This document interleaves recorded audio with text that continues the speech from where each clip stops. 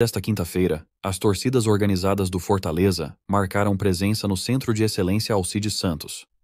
O objetivo era expressar sua insatisfação com o desempenho da equipe nesta temporada, que inclui três derrotas consecutivas. Durante o encontro, líderes das torcidas e membros do elenco tricolor dialogaram para compreender as razões por trás da má fase do clube em 2024. Após discussões, chegaram a um acordo para mudar a postura a partir do próximo jogo, o clássico Rei, no sábado. Após essa reunião, o Leão realizou seu primeiro treinamento desde a derrota contra o Maranhão, e ainda está programado outro para sexta-feira antes do confronto com o Ceará, na primeira partida das finais do Campeonato Cearense.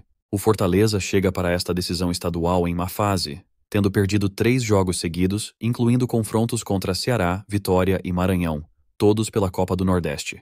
Em um desdobramento anterior, as duas principais torcidas organizadas do Fortaleza foram oficialmente suspensas de todas as atividades do clube por tempo indeterminado.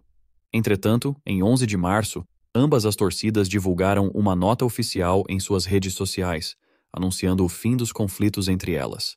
Importante ressaltar que essa reunião ocorreu sem intermediação do clube.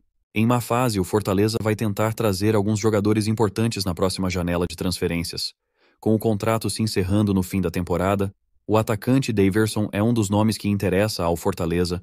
O jogador pode assinar um pré-contrato no meio do ano, alguns outros clubes além do Fortaleza também estão de olho no jogador, como o Grêmio, por exemplo. Então é isso aí, galera. Se você gostou do vídeo, deixa seu like e se inscreva para receber mais vídeos como este e até a próxima.